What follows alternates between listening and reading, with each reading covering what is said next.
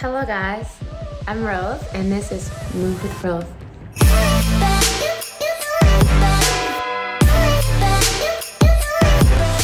In my videos, I'm going to show you multiple movements to keep your body flowing, healthy, limber, bouncy, and happy. I'll be showing you Qigong movements, Tai Chi movements, lots of breathing exercises. I'll also just be dancing and having fun. Anything that gets the body moving is what I'll be showing you.